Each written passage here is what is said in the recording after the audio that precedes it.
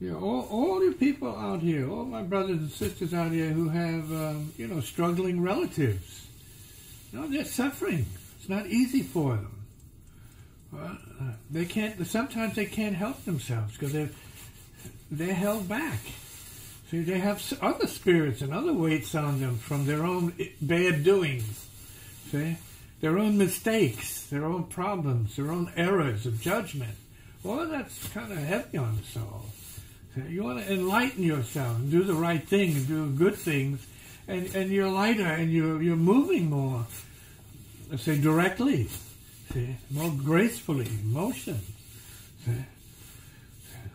So this is this is a tough situation than being human on Earth and this of stuff. If you, if you don't know how to handle these kinds of dilemmas and problems with uh, you know dying relatives and then what to do with them when when they're they're heavier weights upon you uh, than you you hoped for. See, you, you want to get clear of that somehow.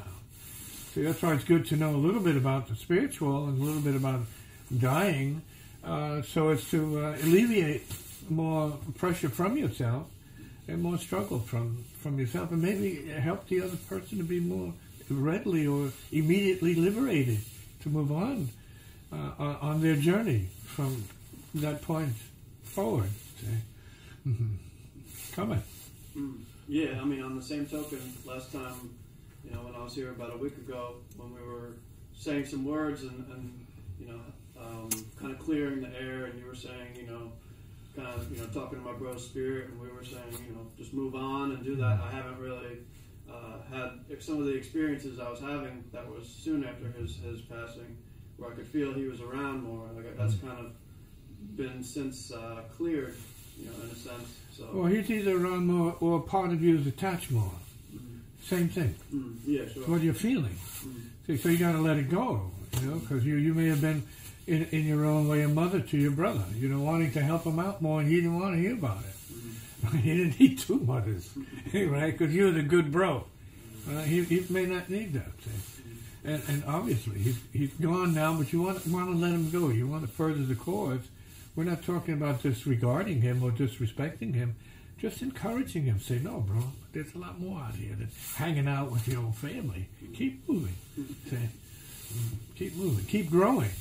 Right? Keep learning and keep growing. See, keep opening the mind and the heart more and, and pass that on to other people. Just keep studying. Keep studying. Study some good good books. Assume it. Learn it. Create create uh, space in yourself for uh, higher levels of consciousness. Good feelings. Liberation intelligence. Liberation energy.